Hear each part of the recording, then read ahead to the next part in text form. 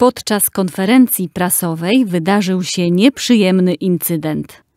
Wczoraj, podczas dyżuru reportera, nie zdarzyło się nic ciekawego.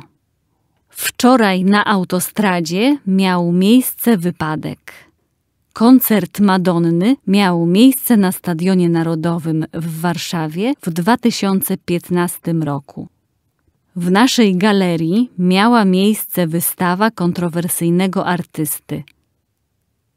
Co roku mają tu miejsce targi książki. Rok temu miały tu miejsce zamieszki kibiców piłkarskich. Co się działo podczas mojej nieobecności?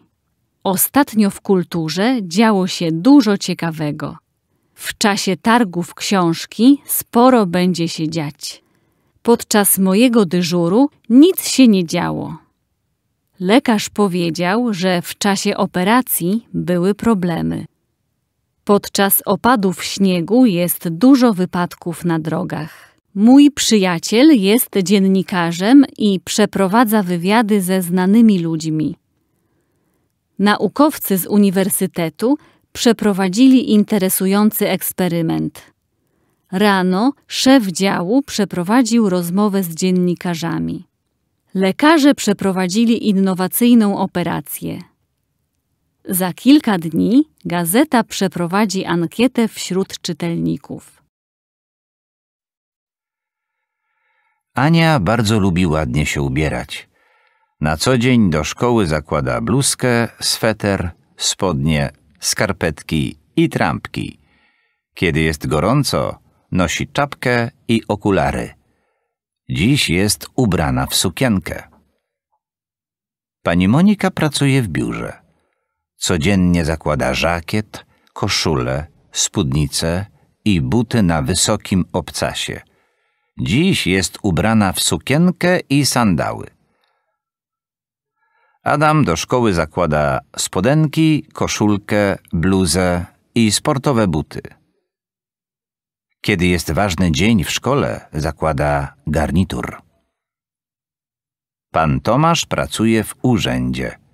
Do pracy musi zakładać eleganckie buty, marynarkę, koszulę, krawat i ciemne spodnie.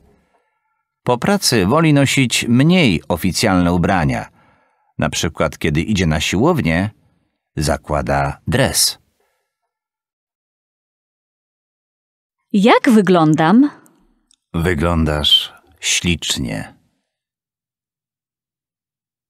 Wyglądasz źle, po prostu brzydko. W tym swetrze wyglądam okropnie. W sukience i szpilkach kobiety wyglądają elegancko. Niestety, nie wiem jak ona wygląda.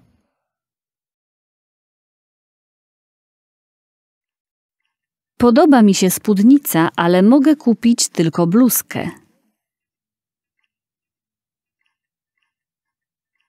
Podobają mu się brązowe buty?